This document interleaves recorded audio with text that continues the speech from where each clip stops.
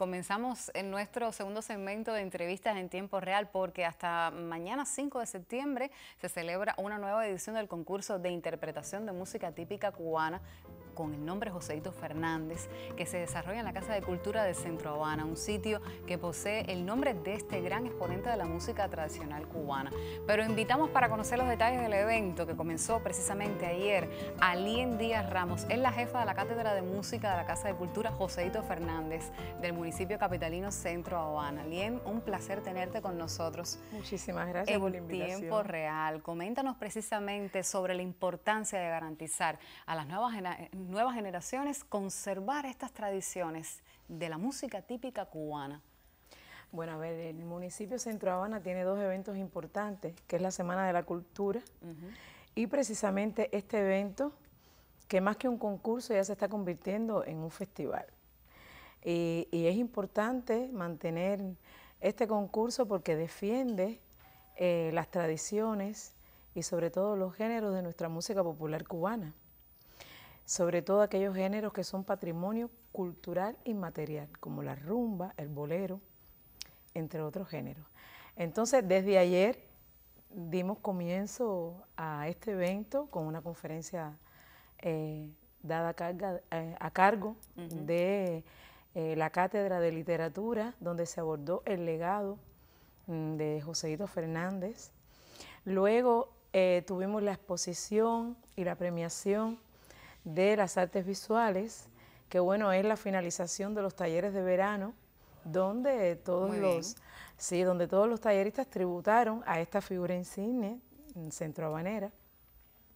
Continuamos con una peregrinación hasta la calle Gervasio 658, que es el lugar donde nació y murió Joséito Fernández.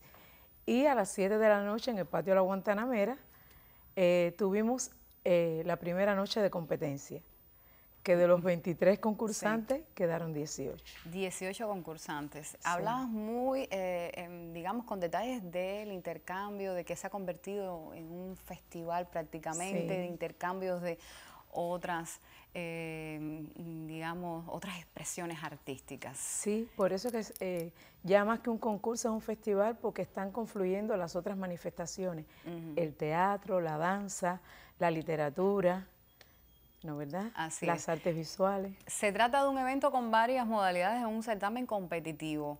Y hacemos una parte, los niños. Compiten niños, pero también niñas, adultos, jóvenes. O sea, es abierto para todas las edades. Es abierto.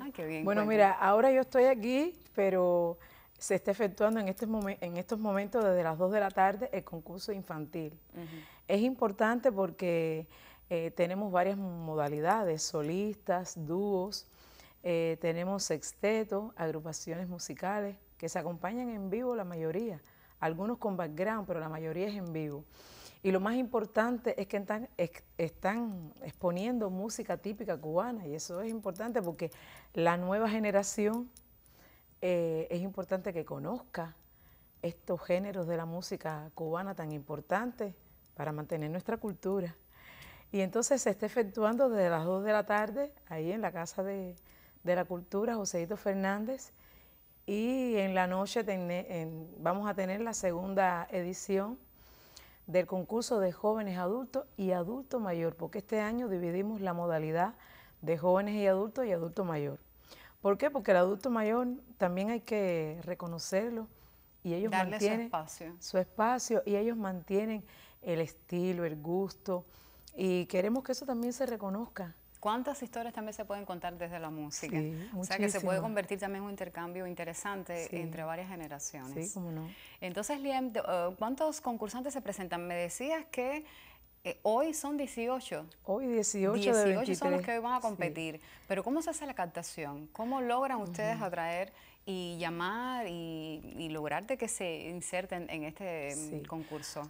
Bueno, prácticamente el año entero nosotros estamos tributando a, este concurso, pero tres meses antes nosotros hicimos ya las inscripciones y los meses, eh, o sea, los días 14, 15 y 16 de agosto realizamos las audiciones. Es decir, se inscribieron más de 60 personas y de ellos quedaron 26. Lo que pasa que hubo tres que por problemas de salud tuvieron que abandonar el evento. La elección de los temas. ¿Ustedes intervienen también en esa selección? Lo dejamos libre, pero lo más importante es que debe ser música cubana. ¿Forman parte de talleres que tienen que ver también con la etapa estival?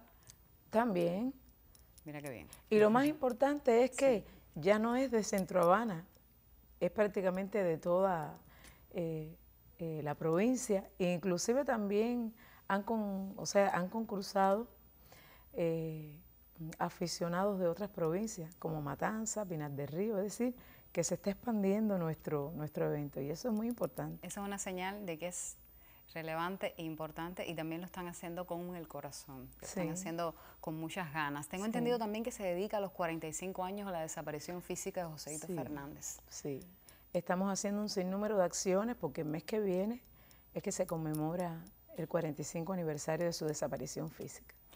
También muchas organizaciones se involucran en este evento, Lien, para que reúna la calidad necesaria. ¿Puedes hablar sobre eso? Cuéntanos un poco quiénes son las instituciones que están colaborando, que están apoyando esta actividad.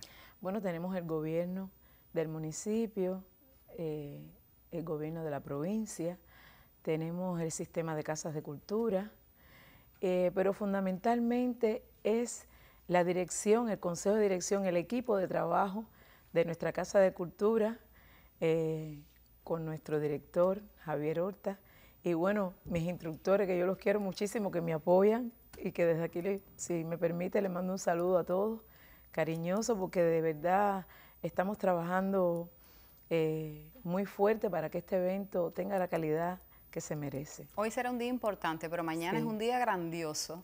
Háblame sobre esa jornada de mañana. Sí, ya mañana a las 5 de la tarde en el Teatro de Variedades América se va a efectuar la gala y la premiación de los, los que ya el jurado decida eh, que sean los ganadores. Que quería acotar que el jurado en esta ocasión eh, lo va a conformar, bueno, Guillermo Fragoso, ese músico excelentísimo, orquestador, compositor.